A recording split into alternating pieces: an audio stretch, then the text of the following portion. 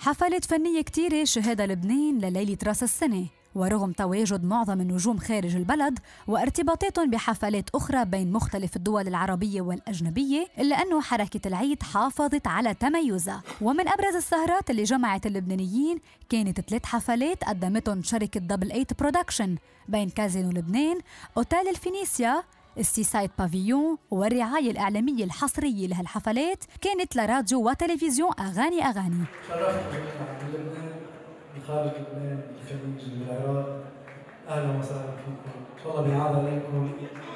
من من تونس أهلا وسهلا. من المغرب من مصر من كل وطننا العربي ليبيا. أهلا وسهلا.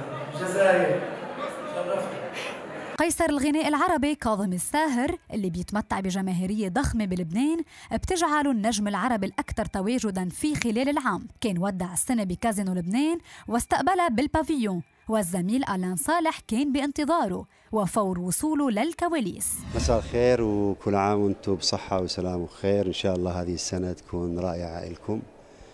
إن شاء الله إحنا نتمنى دائما مثل أمنياتنا دائما المحبة والسلام. والأمان وأهم شيء أطفالنا أنه يأخذوا حقوقهم في وطننا العربي. ما عندنا غير هذه الدعوة. الله يحفظكم. بعد هالمعايدة السريعة أبو وسام انطلق على المسرح واختار لمحبينه بيئة مميزة من أجمل أغنياته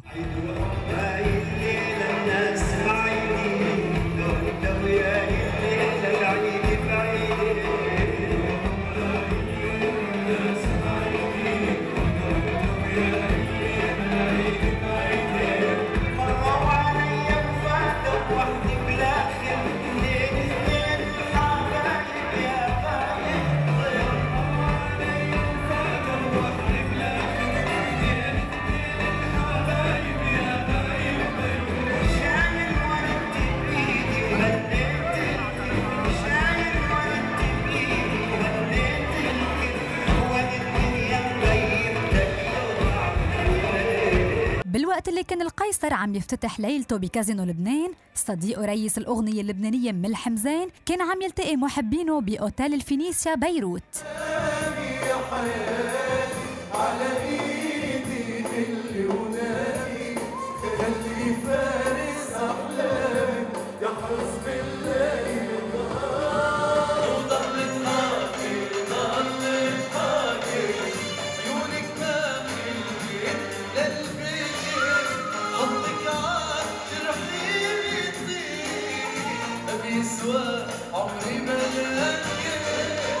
أبو علي اختار مجموعة مميزة من الأغاني لهالليلة فنوع بين الألوان واللهجات ولبى طلبات المحبين بشكل كبير.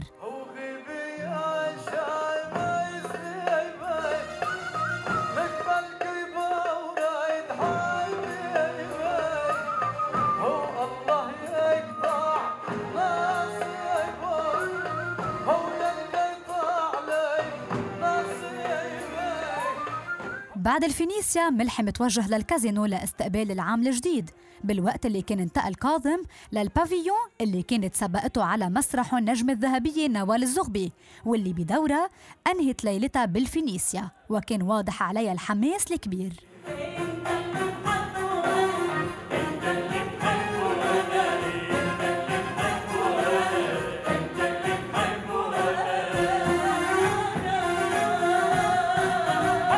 نوال بهالليلة كانت أمنياتها كتيرة وأهمها التوفيق بألبومها الجديد اللي عم تتحضر لإطلاقه خلال أسابيع قليلة. قلت له لفضل سليمان على المسرح إنه الألبوم اللي عم نحضره روعة؟ بدنا نكسر الدنيا بالألبوم. لأنه آه، عمل لي غنية كلاسيك آه، كيف بدي أقول لك يعني مش معقول ما ما تأثر فيك.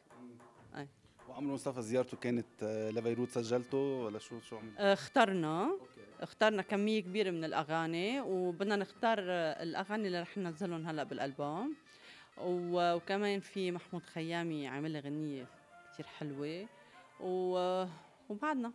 أما هل ممكن هالعام يحمل الحب والغرام مع النجاح المهني المنتظر؟ شفتك على المسرح بحسك كثير فايتة بأجواء رومانسية ومبسوطة وكذا. أنا قلت مبسوطة. أنا بس ما عم فيك ما أنت موجود معقول ما انبسط أنا قلت بلكي إنه ال romance اللي شفناه على المسرح أو عم نشوفه بالحفلات الأخيرة يكون معكوس بالألبوم بالحياة الخاصة. ليك هلا هو حلو ال romance بس اجمالا إذا ما بتتوافق بغنية romance قوية مش رح حط romance. وهلأ حابين الناس حابت تبكي ما بعرف ليه. يا بدها تبكي يا بدها تولع يعني. وهون في romance.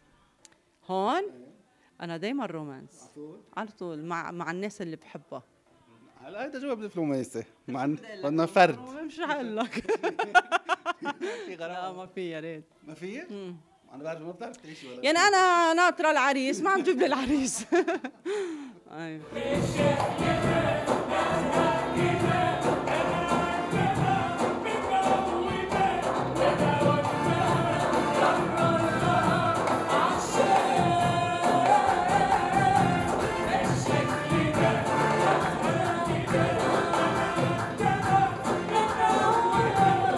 جانب كاظم نوال وملحم كان شارك بهالحفلات الثلاثة كل من ريم الشريف إيان ورواد. وهالأسماء الثلاثة عم تلاقي دعم واضح من قبل شركة Double Eight Production المنظمة للحدث بعد ما وقعوا عقود خاصة مع Artist Lab الشركة الشقيقة لإلها. بتمنى أول شيء على الصعيد الشخصي ان نتطور فنيا آه، وحقق كم حلم كان عبالي يصيروا يعني من زمان.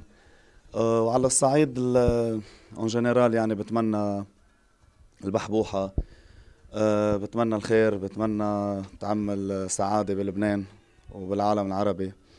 وإن شاء الله بنقضي أيام حلوة. شو بدنا غير هيك؟